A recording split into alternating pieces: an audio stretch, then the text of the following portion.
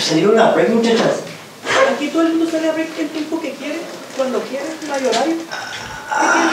Es que el jefe siempre me pone trabajo de más. Hola chicos, ¿una galletita? Ay, mejor dame horas, no me des galletas. Ay, Adriana. A mí me hacen daño, pero voy a tomar una. Gracias. está bien. Ah, Catalina, licenciada Catalina. Este, pues. Mire, le voy a decir algo. Le voy a ser directo, sincero y honesto. No sé si hablo por todas, pero. Siento que el jefe no me valora. Mire, sé que es difícil de explicar, pero yo debo de ser el ejemplo para los trabajadores y siempre me pisa, me humilla públicamente y no, no, no puedo, ya no puedo.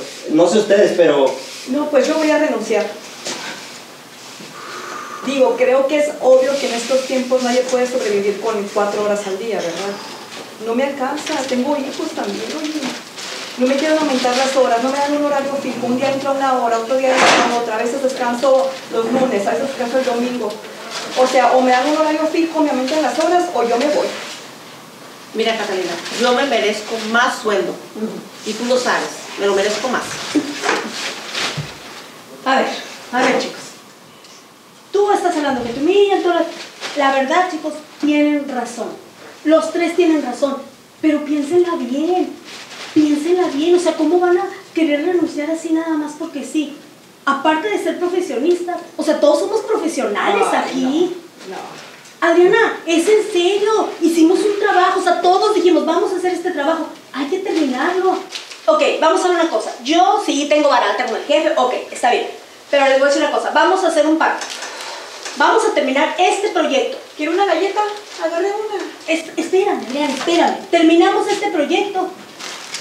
Toma, Cristina. Terminamos este, este Me llamo Armando. Ah, Armando, Armando, Cristina, lo mismo.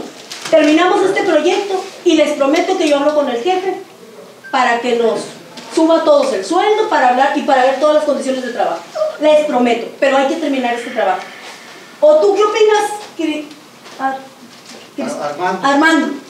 Armando, Digo, ya te chutaste la plática, pues. yo no quería oír, pero la verdad es que yo nomás les digo que cuiden su trabajo porque está bien difícil allá afuera.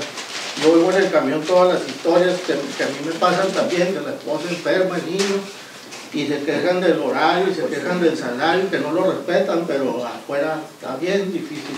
Claro. Ahí nomás les encargo y gracias por, Gracias, la, gracias por la galleta. Ándale, que te vaya bien, Disculpen, no, Armando. no, no quería equivocarme, disculpen. Entonces, ¿qué, chicos? ¿Va? me lo voy a pensar. La verdad es que no estoy satisfecho y Yo me no es merezco digno el trato. Yo me merezco más. Ay, Voy con permiso. Sí, te lo mereces. Ajá, piénsenlo, chicos, piénsenlo. Los quiero mucho.